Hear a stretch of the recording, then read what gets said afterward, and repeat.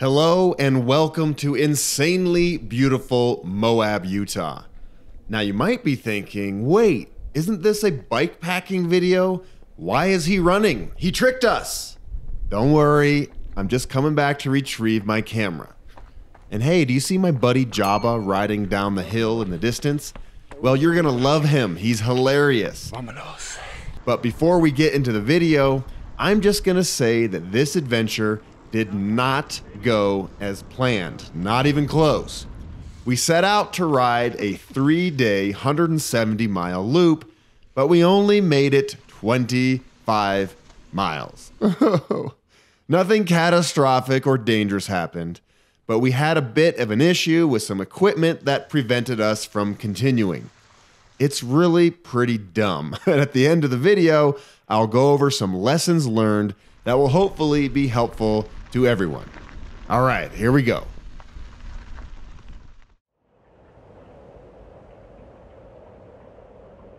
Hi, mister. Hello. Here we are in Moab, Yeah. one of my favorite places on the planet. I love the geography, the canyons, the blue sky, the desert, The color of the rocks. the color of the rocks. I just love this place so much. And we're here. Yeah. We're going to go on a little adventure called Peaks and Plateaus. It's 170 miles. Looks like about 11,000 feet of elevation gain. Are you ready? Do you think you'll be plateauing while I'm peaking? Probably. That's how it works. I'm peaking, dude. Yeah. And I'm here with my good Oh, friend. hey. His real name is Tom, Ugh. But he goes by the Hiking Viking. And Jabba. He does a lot of long distance hikes. All the big through hikes you've ever heard of, he's done them one or two times, right? Yeah, for sure. For sure. And then a lot you haven't done one or two times. Yeah. Or heard of. And, and I got, got him into bike packing a couple years ago. He's done the Great Divide, the Western Wildlands. But this is our first adventure together. And I'm excited. Oh, we're gonna have so much fun. Put some deodorant on, dude. But yeah. We're not gonna have any fun out here. We are in the desert, which means there's not a whole lot of water out here. Luckily, it's springtime, so there might be some little creeks or rivers that we cross. But this route, as far as we know, we don't have water for the next 130 miles. So we each are carrying a lot of water. I got, I think I've got five and a half or six liters, and I think you've got four. Yeah, something like that. I don't drink as much water as him. Yeah, he doesn't like to live like I live. yeah, I, I take showers. Yeah, exactly. so yeah, we've got a lot of water. We've got our bikes all packed up. He's riding a Priority 600X, of course. The same one that I beat up on the GDMBR and the Tour Divide or the uh, Western Wildlands. So uh, it's ready for its second maiden voyage. All right, and look, we're gonna go into those landscapes right there. Oh, and you might have noticed this doesn't look like my typical 600X. I'm testing out a new prototype, secret. I'll let you know later what it's gonna become. You ready? No. Come on, let's go. Okay. I'm excited. Me too. We're leaving town. We won't be back here for three days. We'll be out there for two nights.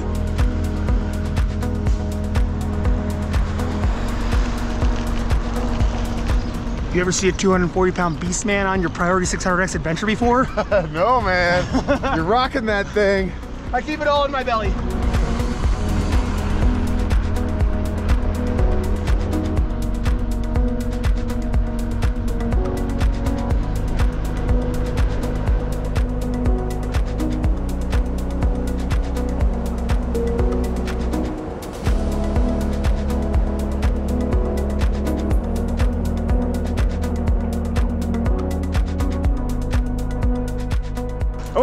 Something very important, buddy. Yeah. No crashies. I left my poop. No flatties, no whammies. Yeah.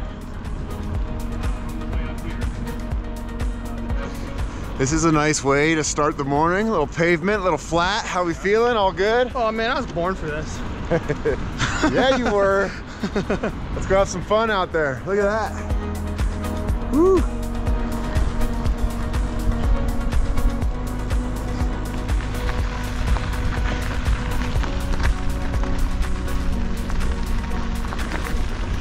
You know what I love most about these canyon walls? The echoes. I, I don't know if you can hear it, but it's cool.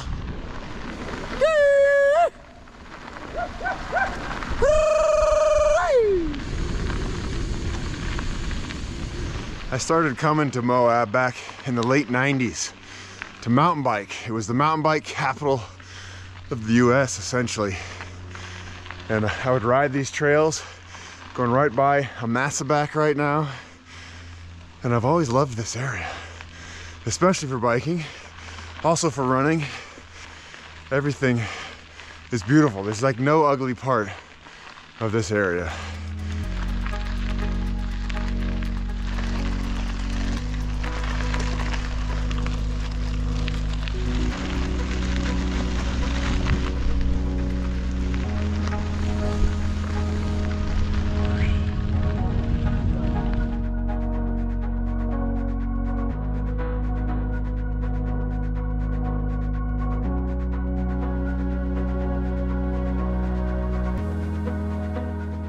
Let's see who has a louder echo.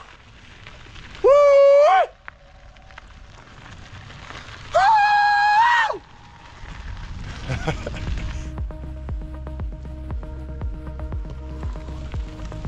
Looks like lichen almost. Yeah.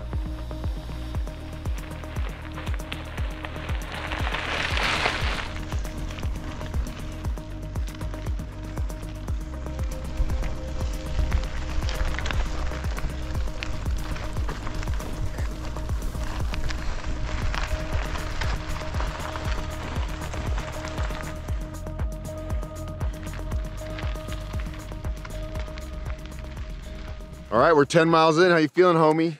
Feels like I'm one mile in. I'm amazing. I feel amazing. Feels amazing. I'm amazing. You're definitely amazing. Sweating. You're amazing. I'm And- sweating. It's and amazing. You're sweating. There's something magical out here, man. There really is. And it's not. It's not just you. I mean, you're a piece of the magic. I feel very fortunate to, to always, to anytime I'm here, I feel very fortunate to be here every time I'm here. And I've been here plenty. Yeah. Like, and it's, and this is my first time biking right here. So, new adventures, same old me. Gotta go. New friends. Woo! Yeah. Look at that car cruising through there. Woo. There's some water if you want a filter. Free chocolate milk.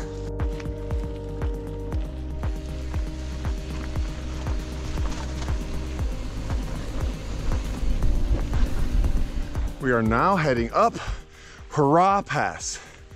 My kind of pass, very enthusiastic name. Hurrah! Huzzah! Huzzah! Huzzah! Oh, we got echoes. Woo! Huzzah! We're just gonna ride around for 170 miles screaming at canyon walls. Lose our voice by day two.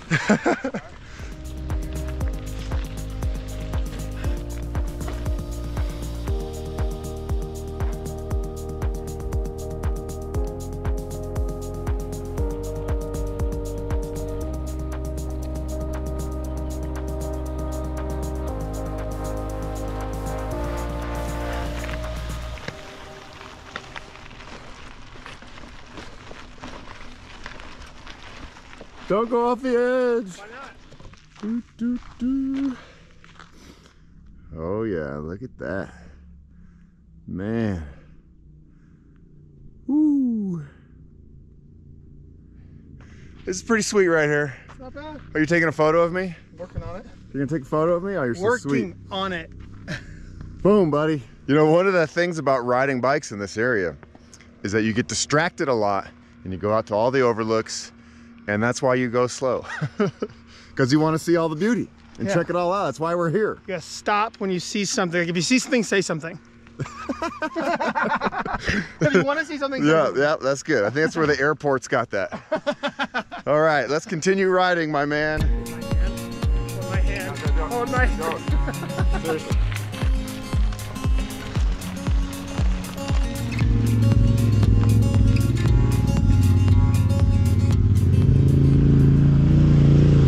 I don't understand? I don't understand why those cars need to be so loud. I mean, you can hear them from miles away, but uh, kind of ruins the peaceful nature of things. The only loud people out here are loud are you and me.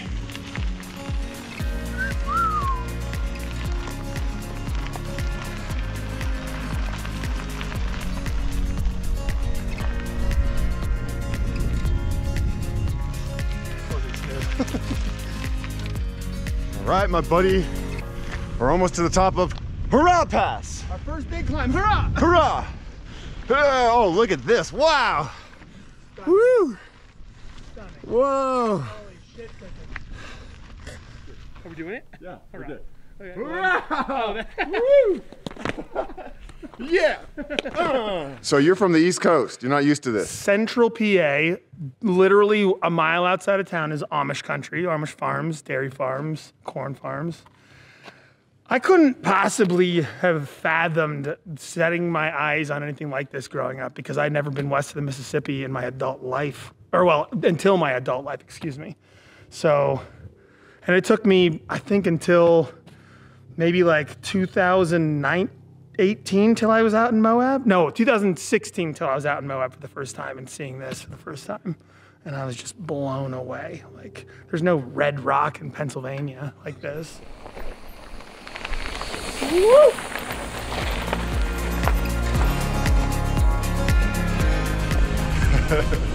You're gonna hear a lot of whooping and hollering in this series because I just get so excited. Woo! Makes me so happy. Yoo-hoo!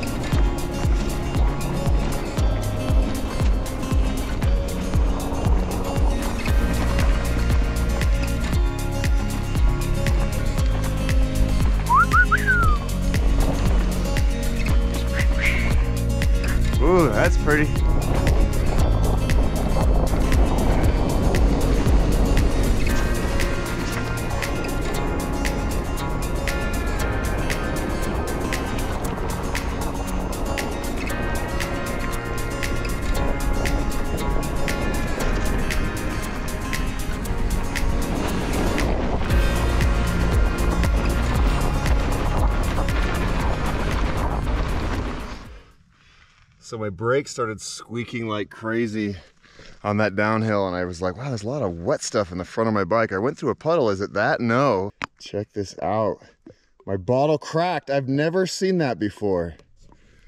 And I was trying to conserve water because there's not a lot out here, so I'm just gonna have to chug this. Want some water? If you don't, sure. Yeah, take some chugs, man. Worthless water bottle? Actually, I've had this one since my first Baja Divide trip in 2017, so it's been through a lot.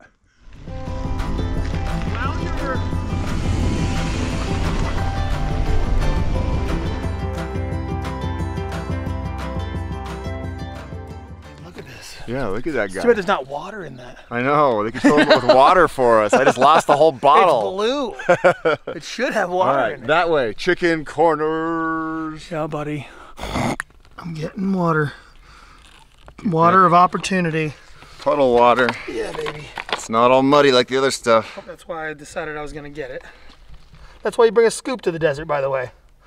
Because these collapsible bottles, it's hard to fill that little spout right there without having one of these little scoopers. And I am trying out a new piece of equipment. It's called Extract, and it goes on the lid of any specialized type water bottle.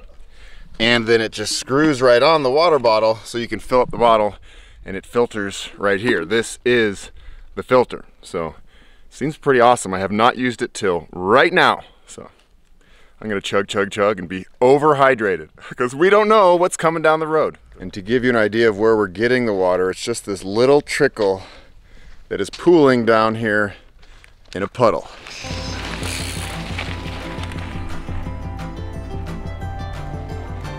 My first time. We are in this chunky zone now, which is kind of fun, but it's also, it's harder. We're earning our pedal strokes now.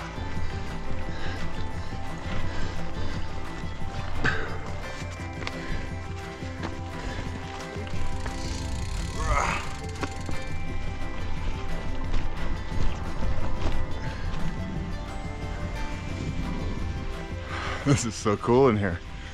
A little mini canyon.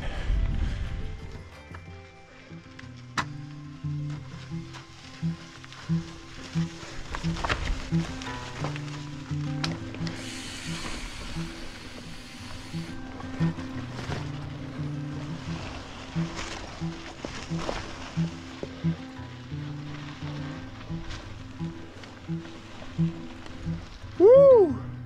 This is crazy.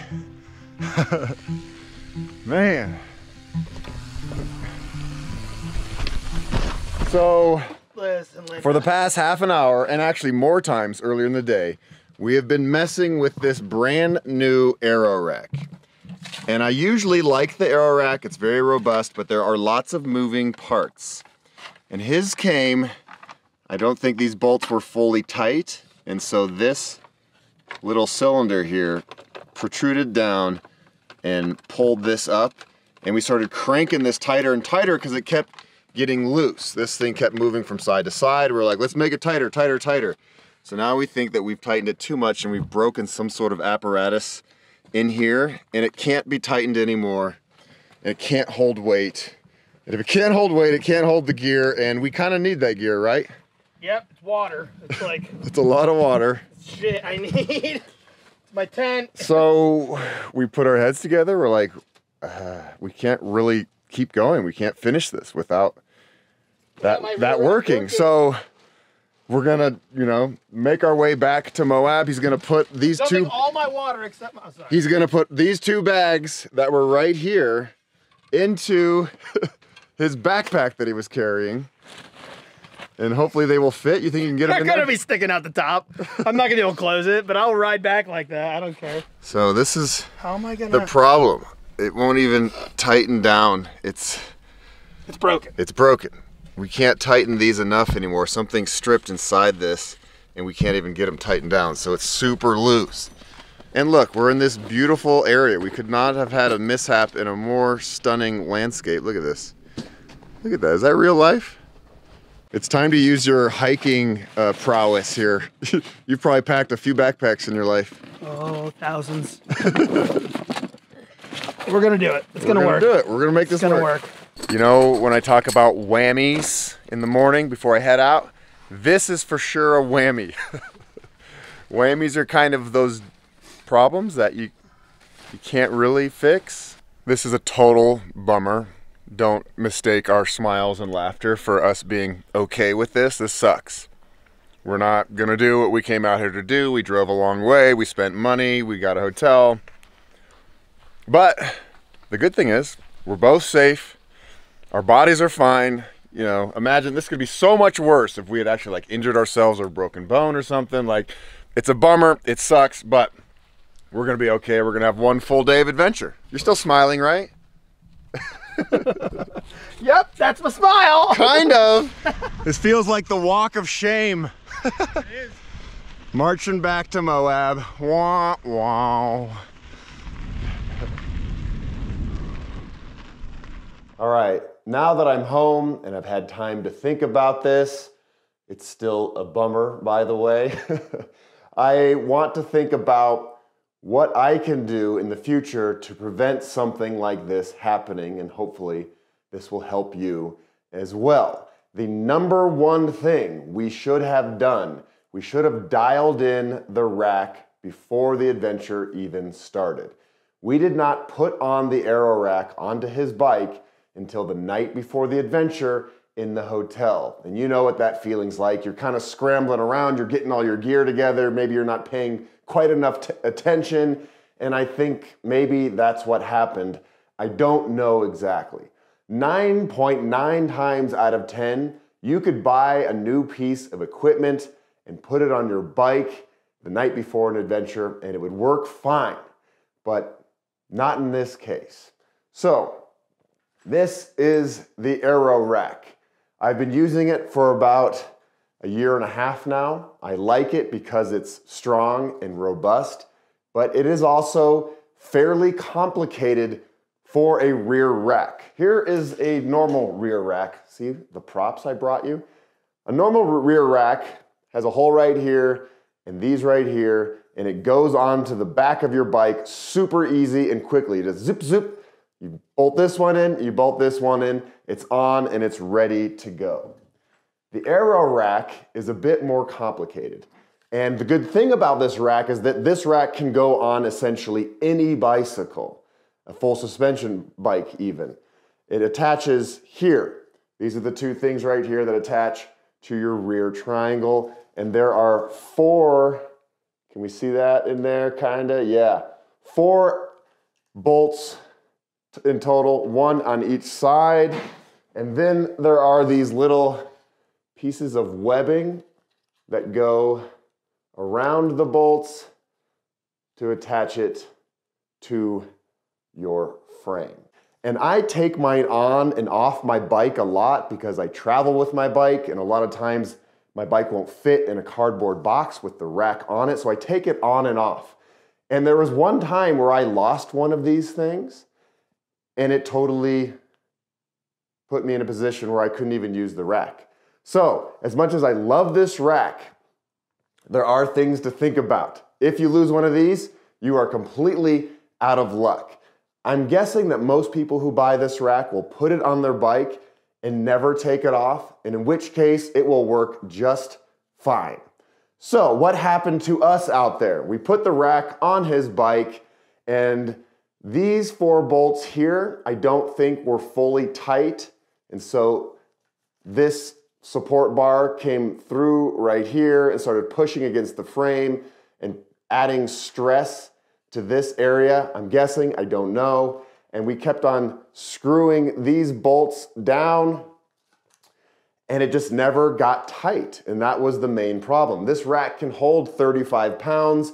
You heard earlier in the video that he was carrying about four or five liters of water. That's not, that's like 10 pounds total. So it wasn't overweighted by any means. We stripped the bolt in here to the point where something inside of this apparatus in here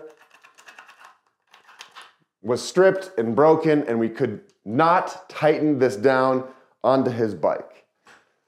Big bummer. We should have dialed that in weeks before this adventure so he could have tested it out with weight and different types of things, get it dialed in just right, make sure all the bolts were super tight.